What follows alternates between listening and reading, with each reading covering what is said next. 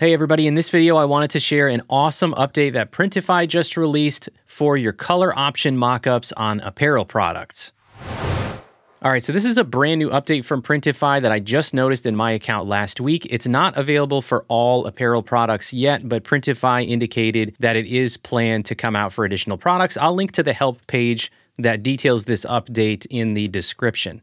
We're going to use the Bella Canvas 3001 for this example because I know this feature is already there for this product. So if we go to the preview view, I haven't even uploaded a design yet for this particular product. But if we go from the editor view over to the preview view, you'll see what I'm talking about here. There's actually a little pop-up in the bottom right corner, kind of behind my head-ish, alerting you to this new feature. All right, I'll get rid of myself for a second there so you can hopefully see better. In the bottom right corner is where you'll find this new feature under the mockup background section. The great thing about this feature is that instead of giving you preset or predetermined images or colors, Printify is giving us the ability to add our own image. That means you can brand it, you can have it look any way that you want. Notice here that they're recommending a resolution of 2048 by 2048 pixels, and so that's the size that we're gonna go create.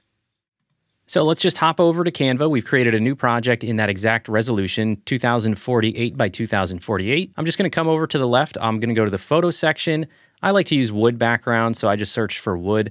I'm just going to take this first one that I see here, just for the example so we can move things along. So we'll fill out the background with our wood, and then I'm gonna go ahead and add my logo to the corner. Now I wanna make sure to place it in a location where it's not gonna overlap with the mockup. So there we go. Let me just make this small enough that it looks like it won't overlap with any part of the mockup. There we go, got my logo in the corner. You could certainly add a little text around to the bottom or the top or the side if you wanted to. Just make sure it doesn't overlap or go behind the actual product mockup. So if you wanted to add your shop name or something like that in in text in the corner as well, you could certainly do that. All right, I'm gonna go ahead and download this. Either JPEG or PNG should be fine for this. Just make sure you've got the resolution that Printify recommends.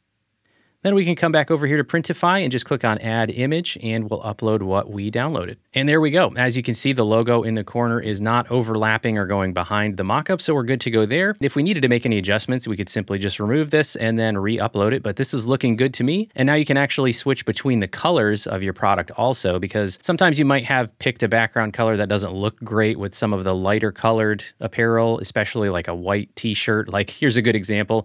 I probably would decide not to use this painted white wood background because with the white t-shirt, it's kind of hard to see the t-shirt. But if you were only selling darker colors, a light colored background like this is certainly usable. And that's really it. The entire design process and the publishing process is exactly the same other than uploading your own mock-up background here. Now, when I publish this to my Etsy shop, these mock-ups will come through with this background already there no downloading it, manually editing it, re-uploading it. None of that manual work now that Printify gave us this option. Now, of course, for your listings, I do still recommend you go and get at least a couple of high quality mockups to use for your primary thumbnail and at least a couple other ones. These really are just good options to use to demonstrate what the color options are and show your design on the different color options that you offer. I wouldn't recommend using these as your primary or your only mockups. Let me know what you think. Are you going to use this new feature that Printify offered? Let me know in the comments below. I hope you found this helpful. Do me a favor, hit the like button if you did find it helpful, and subscribe to the POD Insights channel if you haven't already.